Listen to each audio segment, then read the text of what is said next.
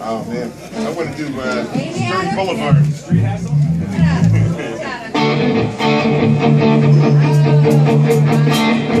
I got my first real six string, bought it at the five and dime, played it till my fingers bled.